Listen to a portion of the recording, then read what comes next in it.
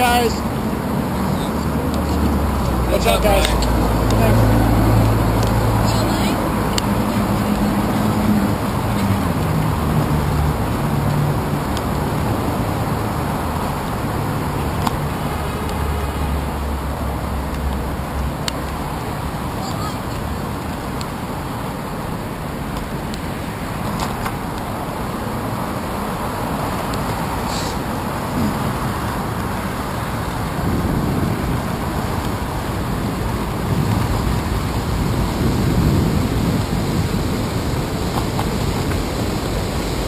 Behind you guys. Thank you.